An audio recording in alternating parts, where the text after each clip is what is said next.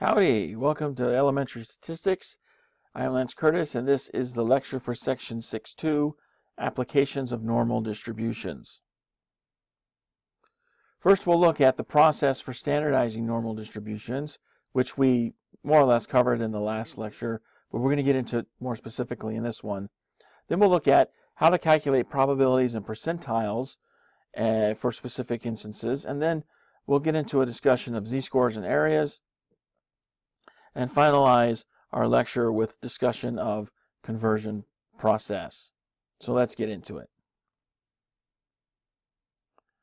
This section illustrates how to work with non-standard normal distributions. As I said before uh, in the previous lecture, StatCrunch makes it really easy to deal with non-standard normal distributions. But it's a good idea to know what is it that that normal calculator is doing in the background so that you understand more of what it is you're looking at. This helps us to make better use of the of the numbers that, that the statistics give us, which enables us to make better conclusions. So first of all, a non-standard normal distribution might be one where the mean is not zero. It could also be one where the standard deviation is not one. Or it could be that both of these uh, criteria apply. So the mean is not zero and the standard deviation is not one. Typically in the real world, this is the case that you find. Now, there's a simple conversion process that allows us to standardize any normal distribution. So the tools that we were looking at in the previous section become then available to us. Let's look at this process for standardizing normal distributions. So there's a simple equation that converts random variables in non-standard normal distributions to z-scores in standard distributions. And it's the equation that we've seen before for calculating a z-score. It's the one and the same. So here we have the random variable, subtract out the mean, divide by the standard deviation, and that gives us a z-score, which then makes our normal distribution standardized. Now, if we rewrite this equation in terms of x, we can then convert back the other way. We can take a standard normal distribution and convert it to our non-standard normal distribution. So when we do that, we get this equation for x. You take the mean and then you add the product of the z-score and the standard deviation. This then converts it back to the non-standard normal distribution. So we use our z-score equation to standardize a normal distribution, and then we use the same equation solved for x in order to quote-unquote de-standardize the normal distribution. Here's an example of how this might work so we can illustrate this, this conversion process. So let's say we have a non-standard normal distribution with a mean of 1010 and a standard distribution of 20. We simply apply this simple procedure. So we start by just checking out, let's just take one of the random variables we have in the non-standard normal distribution. And we're going to use a table to tabulate our results out. So First, we're going to select a random variable to convert, and let's just pick the one that's here on the edge. So 950 is going to be our random variable that we want to convert over. So let's go ahead and put that in our table. And then we're going to apply our formula. So going from, the, from a non-standard to a standard normal distribution means we're going to use that z-score formula. So we apply the appropriate conversion equation, which as I said is our z-score equation. We plug in our numbers. So our, our random variable is 950. The mean, as we said before, was 1010, and the standard deviation is 20. Punch this out and we get negative 3.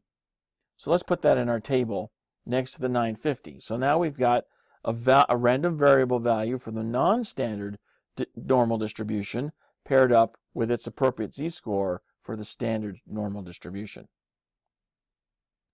We can repeat this process for as many of the remaining values as we want. So let's say we take the next one in line, 970. So we have our z-score formula. We plug in the 970, punch it out, and we get negative 2. So we put that into our, into our table. We can actually end up going through the rest of the values that we see there for our non-standard normal distribution. And we can do the same sort of calculation with each one of those and put those values in the table. And we see that those come out to be the z-scores that form our standard normal distribution. That's really all there is to it. Let's look at a practical example involving test scores. So the scores for a recent exam in a history class are normally distributed with a mean score of 76.8 and a standard deviation of 2.67. What then is the probability that a randomly selected student will score an A on the exam? Assume an A is any score of 90 or more. Well, the easiest way to solve this is to use StatCrunch. So here we go. Put up the normal calculator from StatCrunch. Notice how we've changed out of the standard normal distribution values that come as a default with the calculator. So we just go ahead and just put the mean score from our non-standard normal distribution in the calculator. Here's the standard deviation for that distribution. And then we want the probability that we get an A, which is anything that's greater than or equal to 90. 90 or more. So we put those we put those selections there and then press compute and out comes our probability, which as you can see for this particular class is really, really small. So be glad you're not in this class because really hard to get an A.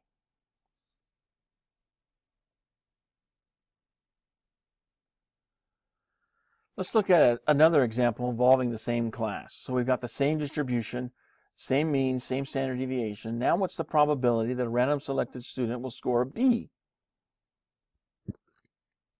We're defining a B as any score between 80 and 89.9. So remember when you're in StatCrunch, and again that's the easiest way to solve this problem, you want to go into that normal calculator and select that between option at the top of the calculator so that you can put both of your values in here into your probability calculation. You want it to be more than 90, uh, more than 80, but less than 89.9. Then you hit compute, now comes your answer, 0.115. So it's way more likely you're going to get a B than an A. Note that you have to select that between option when your area under the curve has two definite boundaries, one on the left and one on the right. If we look and say, okay, for the same class, what's the probability that a randomly selected student will score a C or lower, in other words, less than 80% on the exam? Well, we go back into StatCrunch, that's the easiest way to do this, our normal calculator that we already have called up, and we're going to switch back to the standard option, so there at the top, you want to make sure you press standard. And then down below, make sure you enter in less than or equal to for your drop down option. Put the 80 for the field for the for the z-score field, and then you're going to get an area of 0.8846, which is the probability that we're actually going to get less than a B on the exam. Apparently, there's something going on with this class. The students aren't doing what they need to be doing, or the professor is just so awful that there's no way the students can be doing what they need to be doing. Either way, the probability we get a score of a C or lower is 88%. The power of standardizing normal distributions manifests itself most plainly when you're calculating probabilities and percentiles. So, as you saw from, from the previous lecture, when, you're when you use a standard normal distribution, you can easily use a z-score table to calculate out the probabilities and percentiles source uh, StatCrunch does away with some of this because it's doing a lot of these transformational conversion calculations for you. But let's go ahead and look at how the, how the table is used in this regard. Z-score tables and software each allow us to calculate probabilities and percentiles easily. And then once we have our percentile or probability, we can convert our z-score back to its equivalent for the non-standard random variable value to find the value of interest. Without standardizing normal distributions, finding probabilities and percentiles for non-standard normal distributions would be very, very painful. Uh, assuming that, and this is mostly true in the days when we didn't have the software commonly available to us to help us. So typically what this would mean is without the software, and if we don't standardize the normal distribution, we'd have to have a separate table set out for each specific normal distribution that we use. Yikes, how incredibly painful would that be to create? Uh, the other option that we would go with is say, well, we're not going to make specific tables, but we're going to have to perform a specific integral calculus calculation for whatever probability or percentile that we want to find and look for. That's also really painful. Much, much easier to be living in the 21st century and have all of this software available to us that does all these calculations very, very easily. Let's look at the same class that we were looking at before. Mean score of 76.8, standard deviation 2.67. So what test score corresponds with the 75th percentile? Well, again, we're going to use StatCrunch and not the tables to do this because it's way easier in StatCrunch. So if we go back to our normal calculator, notice how we put 75% in for the area under the curve. Notice that we have the area to the left. So we have the area to the left of the particular value that we're looking for. And so we're going to use the less than or equal to here. And then this is the area underneath the curve. Notice that when we were calculating percentiles before, when we first introduced them, we were looking at all the numbers that were less than the number of interest. The corresponding correlation for the standard normal distribution, or for any normal distribution for that matter, is to take the area to the left of the value of interest. That value of interest is our test score that corresponds with our percentile value, which in this case is the 78.6. So this is the test score that corresponds with the 75th percentile. Remember, percentiles will always be the left-sided area underneath the curve. That's how we were calculating percentiles when we were looking at them originally. We're looking at all the numbers that are less than that, counting them up. So that's what we're going to do here with the distribution curve. Take the area to the left of our value of interest. Let's look at another example involving the 90th percentile. So for the same class, what test score corresponds with the 90th percentile? I'll give you a moment to calculate that in StatCrunch, and then we'll look to see what the right answer is.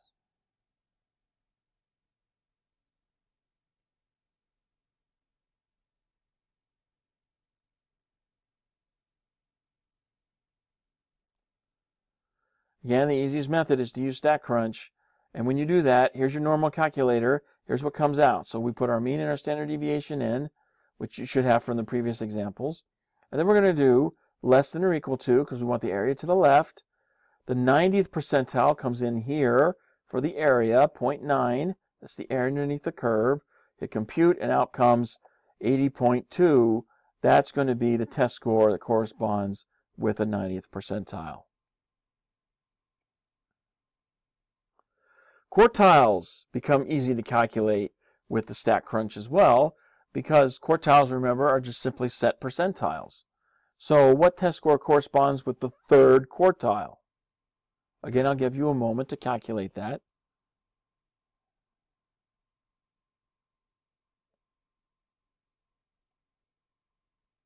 The easiest method is to use StatCrunch. Here's what it should look like when you punch it out in your normal calculator. So we're going to have 75%. That's the third quartile here in the area field, and then less than or equal to here for your drop down selection. And then you're going to hit compute and get this number here for your test score that corresponds with the third quartile, which is 78.6. Remember, quartiles correspond to quarter parts of our data set. So the first quartile is 25%. The second quartile, which is the same as the median, but for a normal distribution, that's also the mean value, 50%. And then third quartile, 75%. Let's look at an example from the real world. So there's an organization known as Tall Clubs International. And in order to join this organization, which is really originally organized for very tall women, a woman must be at least 70 inches tall. So if we have a distribution for the heights of women that's normally distributed, and it has a mean of 63.8 inches, standard deviation of 2.6 inches, what percentage of women will satisfy the height requirement and are able to join Tall Clubs International? Well, first we're going to convert the random variable to a z-score. So we do that with our z-score equation. So we take that random variable, the 70 inches, that's the requirement, that's our random variable of interest. We're going to subtract out the mean value from the distribution, 63.8, divide by the standard deviation, 2.6, and we get 2.38. That's our z-score. Now that we have our z-score, we know what that actually corresponds with. It must be at least 70 inches. So we're looking to the area to the right underneath the curve. So we have to quantify that area with the associated z-score. You can use StatCrunch or the tables to do that.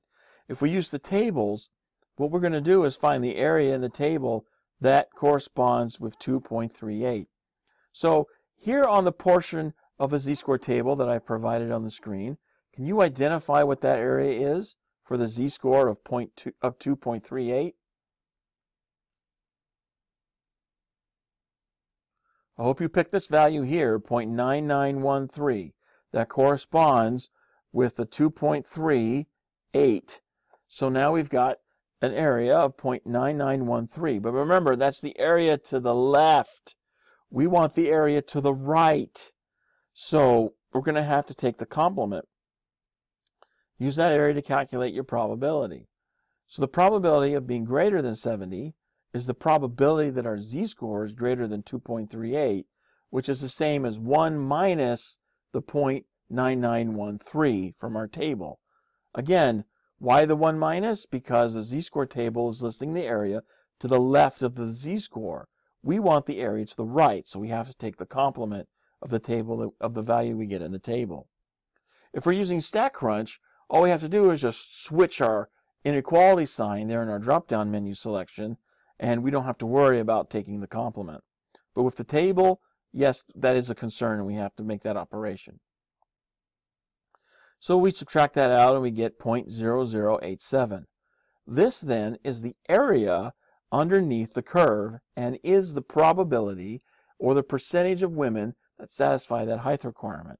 It's also the probability that a randomly selected woman is going to satisfy that height requirement. Now, for many years, Tall Clubs International was an organization simply for tall women.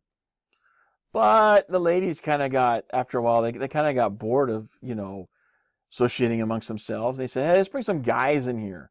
So they actually, Tall Clubs International now admits men as well as women. The standard for men, though, is higher than that for women. Last time I checked, I think it was 74 inches. It might be a little different today, uh, but at any rate, the men have to meet a different standard than the women in order to join Tall Clubs International. Let's look at a few housekeeping items before we move on. Again, I want to reemphasize that we want to avoid confusing z-scores and areas because if you get those two confused, wow, you can see how a lot of this is just going to, you know, not, not do very well for you. Remember that z-scores are distances along the horizontal scale. So they can be positive, which means they're on the right side of the mean value. They're in the center of the distribution. Or they can be negative, which places them on the left side of the mean. Areas are regions under the normal distribution curve. They represent probabilities, and therefore they are never negative. So please don't confuse z-scores and areas. You want to make sure we keep those straight. In the z-score table, z-scores appear as column and row headings but the areas appear in the body of the table itself. You want to go ahead and make sure you choose the correct side of the area under the curve. Are you looking at the left side or are you looking at the right side? Z-score tables usually list the area to the left of the z-score. So if you need the area to the right, you have to subtract the area to the left from 1. And typically, this isn't going to be a problem for many of you because I'm suspecting you're just going to use StatCrunch for all of your calculations. So then you have to remember, when you're using StatCrunch, you have to remember to select the right inequality sign for your probability calculation from that drop-down menu. Make sure you choose the correct side of the area under the curve. Let's look at a practical example where this can be very useful. So engineers that design passenger aircraft cabins have to balance uh, between functionality and cost. And for a design for an aircraft cabin that basically turns out to be balancing between allowing most people to stand inside the cabin, so there's your functionality requirement, but you want to minimize the weight. That's your cost requirement. The reason why that's a cost requirement is not so much from the cost of manufacture, although that plays into it, but the much larger cost that comes from actually operating the aircraft. One of the biggest costs to operating aircraft is fuel. The more your aircraft weighs, the more fuel you're going to need to get it off the ground and into the air. And the more fuel you're going to need to keep it in the air. So you can save an awful lot of money by minimizing the weight of your aircraft. So engineers who design aircraft cabins have to play this balancing act.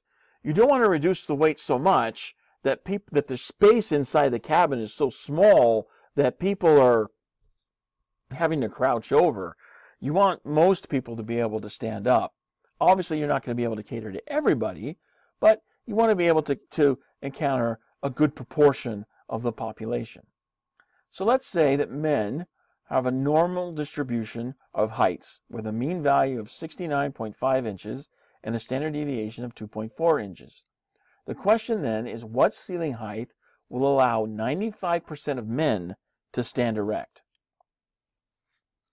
We can solve this using the tools for standard normal distribution that we've come to find so far. First, we're going to recognize that the probability is the area under the curve. So we're going to use that probability as the area under the curve. So here we have a normal distribution. It's non-standard, as you can see from the values here on your x-axis. But we have another axis here that's listing the z-values for a standardized distribution. The area of interest under the curve is 95%. Why is this the area to the left? Well, because we want people that, we're looking for a maximum value that accommodates 95% of the people. So this 95% is going to be less than this boundary value of interest. We convert the area into a z-score. So we can do that by looking at a z-score table.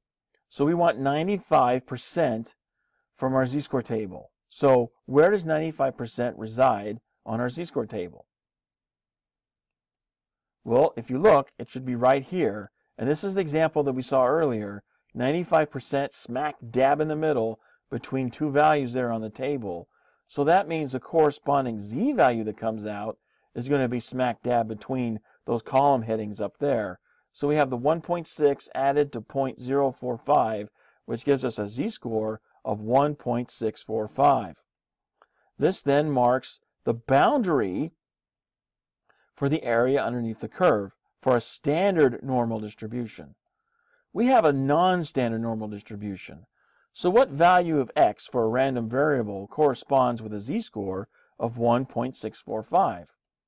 Well, we can easily convert that using the equations that we saw earlier.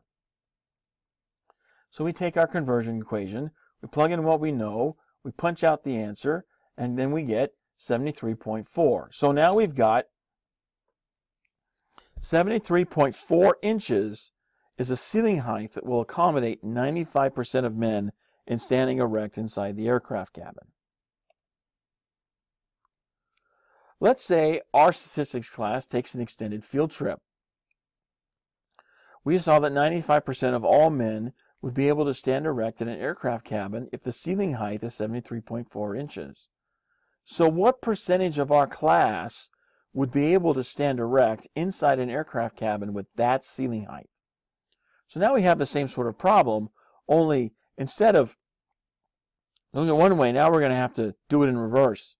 So we're going to assume the same, we're going to assume the height measurements are distributed according to the mean and standard deviation for the numbers that we got earlier for measuring the heights for the class members. The easiest way to solve this problem is to use StatCrunch. So here's our normal calculator. Again, we're going to look for, we have the ceiling height set, and we put in the values for the mean and standard deviation for the heights for our class because we want to know what proportion or percentage of the class is going to be able to stand erect underneath that ceiling height. And here we have the end value of 95%. So, or if you want to round to one decimal point, 94.6% of the class could stand erect with that ceiling height. Note that when you use the software, it takes care of all the z-score conversions for you. So what we did in the last example, where we're using the table and we have to convert the z-score, that's a very old school approach to solving these types of problems. The glory and beauty of living in the 21st century is that the software does all of that for you.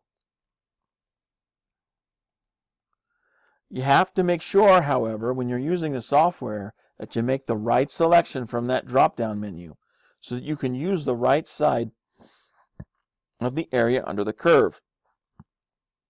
Are you looking for the area to the left? Are you looking for the area to the right? Make sure you choose the right side. So, just to review, here's the conversion process between standardized and non-standardized normal distributions. But it's actually part of a larger process that ultimately converts between random variables, which we see in world distributions, and probabilities, which are of interest to us in solving different statistical problems. So if we start with the random variable side, notice that random variables, we can convert those to standard normal distributions, which then we can extract z-scores. The z-score table then allows us to get the area under the curve, which is the same as a probability. We can also do this process in reverse. We can say we have a probability, that's the area under the curve, use that with the z-score table to get a z-score. Then we just have the standard normal distribution converted back to a non-standard normal distribution to get our random variable of interest. So we can work this process both ways. The beauty of the software is that all of this is automated. So this train of events is what's going on in the background when you're punching the buttons in StatCrunch. All you see are the endpoints here, the probability and the random variable. But really what's going on is it's going through this process, either one way or the other, to give you the value that you're missing, either the probability or the random variable. That brings us to the end of this lecture. If you have any questions, you know what to do. Otherwise, I will see you in class or the next video. Thanks for watching.